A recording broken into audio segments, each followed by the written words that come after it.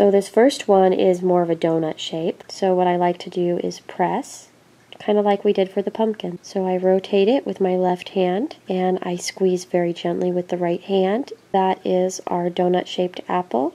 Go along the bottom and twist right beyond where you see that line forming to make it a little bit more narrow at the bottom. The second one I start out the same way but I do it only a little bit, just so you start getting a flattened top and bottom. And then I roll at the bottom slightly with my fingers, because this is supposed to be a very round apple.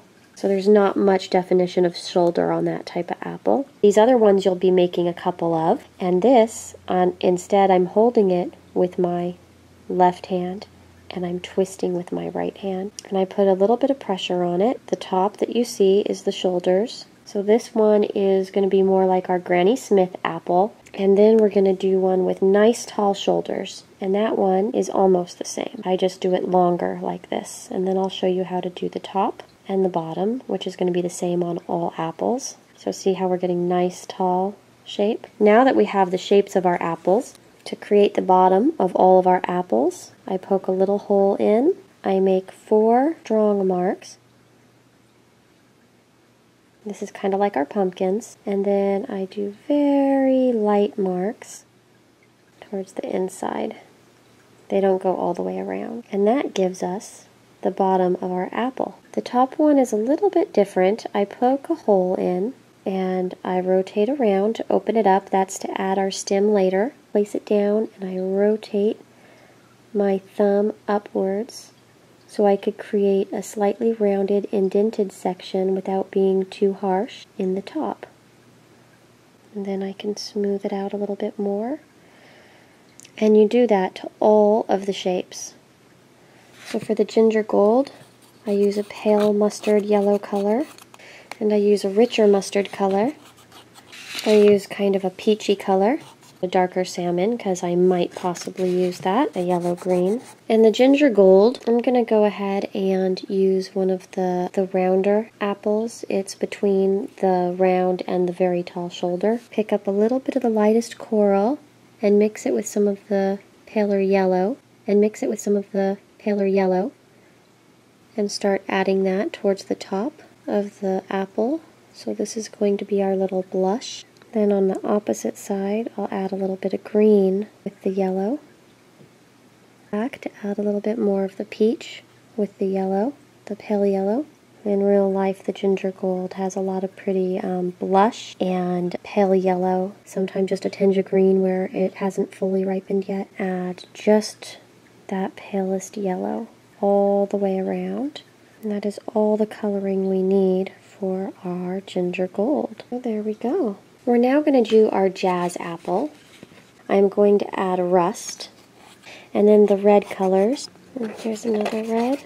Then I'm going to add a little bit of the brightest yellow. And the jazz apple is one of the taller apples. Now on the jazz apple, I'm going to add some of the brightest yellow. And then I'm going to paint the rest of the body in the paler yellow and the richer, darker mustard looking yellow. You'll want to make sure to add some color to the bottom.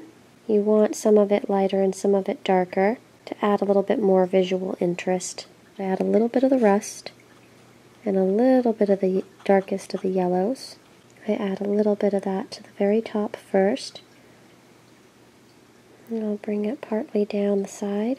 Then after adding it to one side, I start painting it on just the curve of the opposite side, adding in a little bit of color. The Jazz is a very yellow apple with hints of red. If it wasn't quite bright enough, you could always add a little bit of red, just a little tiny bit, but not letting that red hit any of the yellows just in the center of where you had the rust, just to deepen part of that rusty area. So there is our jazz apple. We're going to do the Granny Smith apple. I'm going to add just a little bit of the darkest green. I like to go for the in-between size, the more natural apple shape. I'm going to paint the top and the lighter of the yellow ochres. And I won't go all the way around. As you've noticed, I like to have some of the color on the body on the opposite side. And I would add a little bit of the darker yellow just a part of the top. I'm going to take the lighter yellow green and go all over. So we have a nice green base on our little apple here. I'm going to add a little bit of the darker green in little bits and pieces. We're going to do our Duchess apple now. Duchess apple, we're going to use the color palette that we already have. Add a little bit of the lighter yellow and the more darker yellow ochre across the top. And this is to keep the green from being too bright. This is to give it a golden color instead of a blue-green color. And then I'm also going to add it to the bottom of our Duchess apple. And then I'm going to start brushing up the sides a little bit. Then I'm going to have the paler yellow all over, making sure that I kept that darker color at the very top. I'm going to use the yellow-green color, so I'll use both shades, the medium and the darker green. You want it to be very pale in the center. I'm going to start adding the coral tones to warm up the side and I'm kind of blotting it on rather than brushing it so much now. I don't want the red to swallow the green or the green to swallow the red. I'm going to take a soft brush that doesn't have paint on it yet, or powder, and then brush up and down trying to smooth away any of the extra dust that's clung on. So I'm doing really thin streaks of red. So I just continue doing that until I have some good red streaks going up the whole side. And you can even bring some down onto the base or some up over the green. Kind of adds to the to the interesting charm of this kind of strange apple. But isn't that an interesting looking apple? That's called a Duchess apple. And our Maiden Blush is half green, half red. So I add a little bit of aqua to our palette. This is the flat donut shaped one.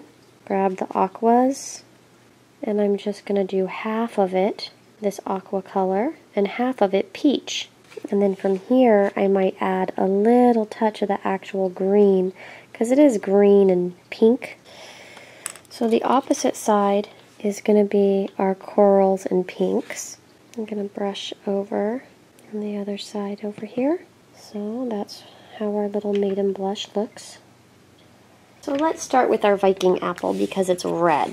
We're going to be adding purple to our color palette here. We're adding lots of purple, medium purple, is I am going to start with a rich red, as red as you can get it. And you just have to know that when you bake this, it's, it's not going to look red when it comes out. And you can recapture some of the color by glazing it after. And sometimes adding a touch of rust darkens it enough where it appears more red take some of this red and I'm going to pull a little bit of purple into it and mix it up. Make it darker and richer. Just try to get it as dark as you can without losing red and having it go too purple on you. The final apple is actually called a black Arkansas apple. I'm grabbing a little bit of the darkest coral, a little bit of red, and I am painting it on one side on the top. The medium purple is going on all the sides that were white and on the bottom. And then I'll add some of the dark, dark purple with just a touch of the red. This apple is more like a purple apple with red undertones, which is why we're leaving that red area mostly red. And here is our black Arkansas apple. So here's a little bit of brown with a little bit of translucent, and I'm just going to mix these two up and roll it out as thin as I can. So I will just cut small little lengths, and I'll put a little bit of translucent liquid Sculpey right there, and then I'll pick up a stem, and I will stick it on in there.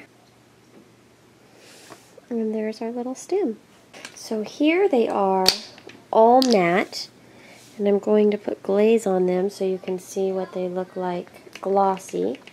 If you want them to look the way that they do now, that's a little bit more realistic, use a matte glaze